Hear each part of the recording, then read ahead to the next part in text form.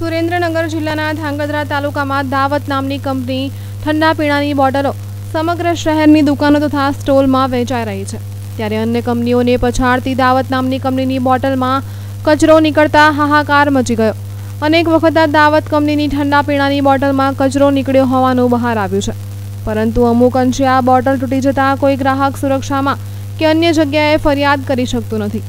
પરંતુ એવો જ એક બનાવ ધાંગધ્રા શહેરના બાંભા શેરી વિસ્તારમાં આવેલી સોડા સેન્ટરની દુકાનમાંથી બે પોઈન્ટ પચીસ લીટર અને તેની પ્રિન્ટ કિંમત પંચોતેર અને ગ્રાહક પાસેથી કિંમત નેવુંની જીરા મસાલા એક નાગરિકે ખરીદી હતી. ત્યારે ધાંગધ્રા શહેરના સ્ટોલ તથા દુકાનદાર પ્રિન્ટ ભાવ કરતાં વધારે કિંમત વસૂલ કરે છે, જેનું કોઈ પણ પ્રકારનું બિલ પણ આપવામાં આવતું નથી અને તે બોટલમાં કચરો સ્પષ્ટપણે દેખાઈ રહ્યો છે અને હાલ આ બોટલ સીલ પેક અવસ્થામાં દેખાઈ રહી છે.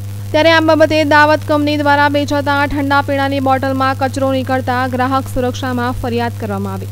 ત્યારે શહેરમાં તથા ગુજરાતભરમાં વેચાતી દાવત નામની કંપનીના ઠંડા પીણામાં કચરો નીકળતા લોકોના હાનિ સાથે ચેડા થઈ રહ્યા છે.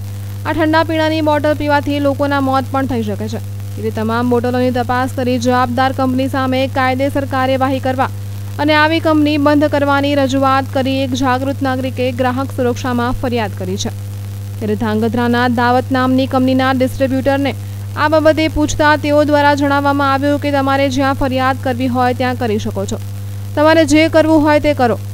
પણ આવા ઊંડાણપૂર્વક જવાબ દાવત કંપનીના ડિસ્ટ્રીબ્યુટર જણાવે છે. ત્યારે હાલ તો જોવાનું એ રહ્યું કે તંત્ર આ ઘટનાને કેટલી ગંભીરતાથી લઈને તેના પર કાર્યવાહી કરે છે. તે તો આવનારો સમય જ બતાવશે. શાહરૂખ સિપાઈ સાથે અનેસ ગુજરાત ન્યૂઝ ધાંગધ્રા.